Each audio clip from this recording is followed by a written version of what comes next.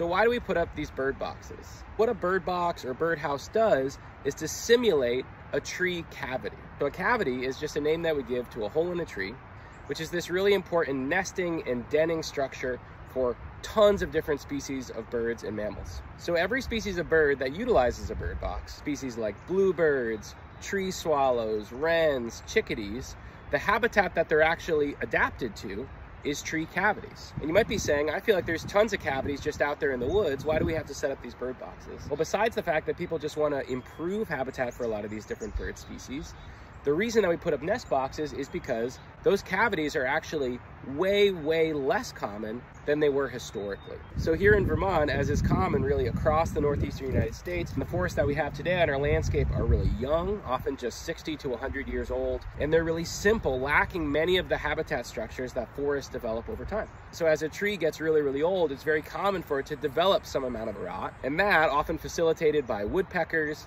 often leads to the creation of these really important cavities. So when we have landscapes that have forests that are much more simple and that lack structures like these big old trees, putting up these bird boxes can be a good way to provide this habitat which is relatively underrepresented across our landscape.